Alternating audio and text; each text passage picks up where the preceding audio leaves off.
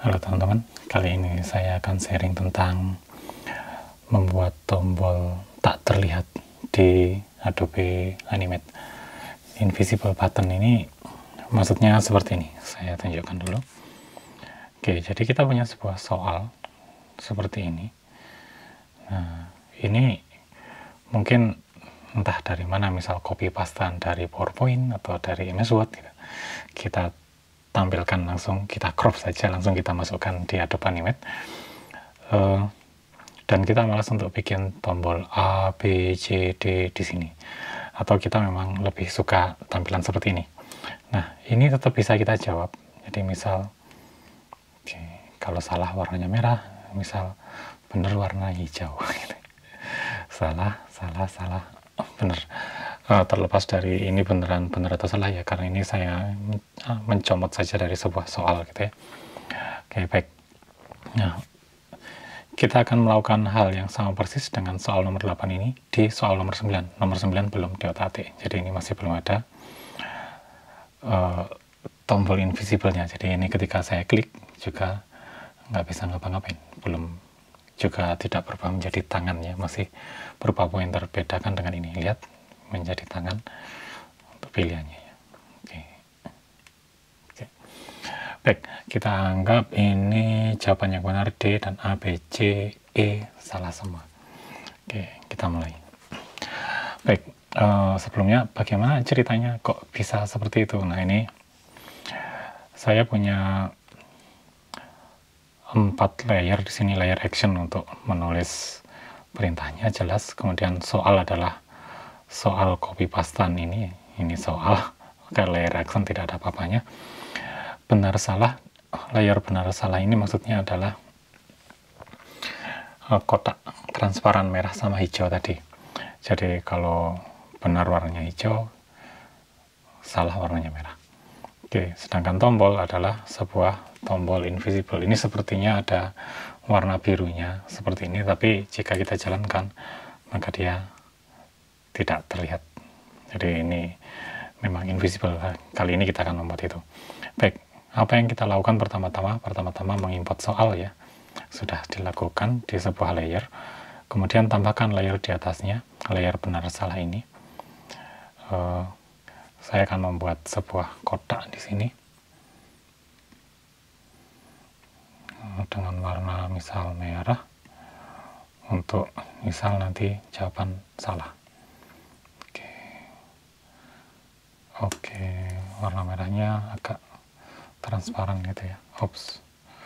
warna merah dengan alfanya 30 jadi ini kita punya warna seperti ini.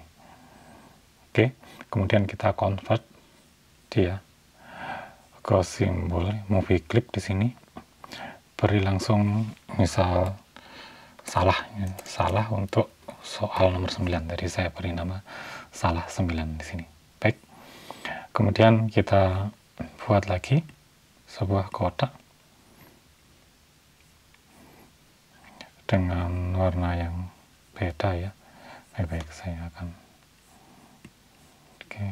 Sebuah kotak dengan warna hijau. Oke. Baik. Di sini saya konversi juga convert to symbol oh, sebentar ini salah sembilan. Ini yang saya pilih masih salah. Baik ini. Baik. Hijau ini ya hijau. Convert to symbol simbol 8 kemudian saya beri nama benar. Benar 9 baik. Oke, saya kembalikan yang salah tadi. Oke. Kemudian jangan lupa dikunci dan ditutup biar nggak ganggu. Matanya ditutup, visibility-nya di sini. Oke. Setelah ini kita buat sebuah tombol. Nah, tombol ini sebenarnya tombol normal saja ya. Jadi saya akan buat misal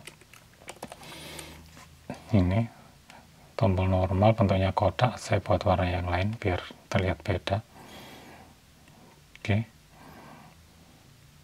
rectangle saya akan ini kenapa nggak bisa ditulisi karena belum saya buka kuncinya. Baik saya bekerja di layer tombol di sana. Saya buka matanya di sana. Kemudian dengan setting yang seperti tadi ya kita lihat. Oke saya buat kotak dengan warna ini. Warnanya nanti tidak masalah ya saya akan buat kotak di sini. Baik. Kemudian kita konversi ke simbol. Nah di sini bukan movie clip tetapi button tentu saja. Kita konversi menjadi button di sini. Kemudian kita beri nama misal BT 9 button 9 A untuk opsi A. Baik. Button ini kalau dijalankan ya itu masih seperti ini. Yang tadi benar salahnya juga masih terlihat seperti itu. Kita akan ursi belakangan. Nah kita ngursi button ini. Button ini seharusnya tidak terlihat makanya kita perlu edit di sini. Saya pilih selection toolnya saya double klik di sini sehingga muncul simbol 9 saya pilih bagian hit di sini. Klik kanan insert keyframe di sana kemudian ambil up di sana upnya yang kita hapus. Oke, sehingga tinggal hit saja. Jika kita lihat nanti ya. Kita akan punya sebuah tombol di sana. Lihat tangan. Bisa untuk tangan sekarang. Oke. Baik. Nah untuk tombol berikutnya kita tinggal copy paste saja sebenarnya. Oke. Ops maaf maaf kita harus keluar keluar dulu ke sana. Oke keluar ke scene 9 kemudian kita copy paste. Oke jangan lupa untuk namanya instant name-nya. Diganti ya jangan 9A tapi yang ini B. Kemudian kita juga copy paste lagi. Ini untuk C kemudian ini untuk D. Dan kemudian untuk E nya baik kita cek. Oh jangan lupa tulis. Eh baik kita cek apakah bisa. Lihat ini sudah mulai. Tapi saja ketika diklik belum mau ya. Oke. Oke. Baik kita akan menuju ke action scriptnya. Jadi kita pilih layer action di sini. Oke di frame 1 kemudian pilih actionnya. Ini sudah ada kode yang untuk uh, soal 8 benar 8 dan salah 8 ini kita tinggal copy paste saja sebenarnya. Ini untuk kotaknya ya. Kita tadi punya benar 9 dan salah 9 nah, ini manual memang. Oke. Kemudian add event listenernya nah, kita bisa langsung ditulis di sini atau langsung biar terpisah gitu. Kita bisa menulis di sini. Hal yang sama juga kita lakukan untuk nomor 9 misalnya. Saya ini perintah untuk nomor 9 benar false salah false dan seterusnya. Oke. BT 8A mouse klik jika salah. Nah ini kita ganti juga. 9A pesan salah untuk 9 kita tinggal copy yang ini. Kita menggunakan event listener ya khas action script di flash flash yang baru-baru. Flash zaman dulu sekarang namanya sudah ganti Adobe Animate ya. Oke pesan salah 9 maksudnya apa? Button 9A tadi yang punya yang tadi di sini.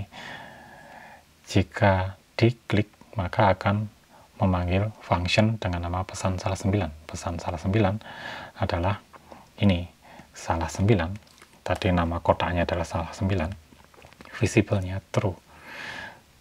Terus benar 9, visible-nya false. Nah, dengan cara yang sama kita akan punya function nanti yang bernama pesan benar ya. Pesan benar 9. Oke. Untuk ini. tentu saja kita harus mengcopy paste ini sebanyak opsi jawabannya jadi A, B, C, D, E dengan mengasumsikan yang D tadi adalah jawaban yang benar maka kita buat hmm, pesan benar 9 untuk yang D jadi uh, perhatikan juga jangan terburu-buru untuk menulis ini. Uh, jangan lupa untuk mengimport ini import flash event event jadi seperti itu. Untuk dua soal tadi perintah penuhnya adalah seperti ini. Jadi silakan bisa dilihat. Oke sudah. Nanti bisa di pause saja ya. Kita coba karena ini belum tentu benar ya. Baik lihat kotak yang benar salahnya tadi sudah hilang dan kita bisa milih ini seharusnya salah ya. B salah, C salah D seharusnya benar E benar no. D benar kok warnanya itu merah karena kita belum mengubah ini. Kita tadi kan mengcopy dari situ ya. Jika benar maka salah visiblenya true harusnya false. Oke. Okay. dan benarnya adalah true visiblenya nih. Oke. Okay. penyakit copy paste ya sehingga kita akan punya E salah, D benar, C salah, B salah. Oke, hal yang sama dengan ini ya, benar. Oke. Kemudian mungkin ada yang protes, lah ini kalau bisa dicobai satu-satu gini lah, lah enak jadi tahu yang mana yang benar.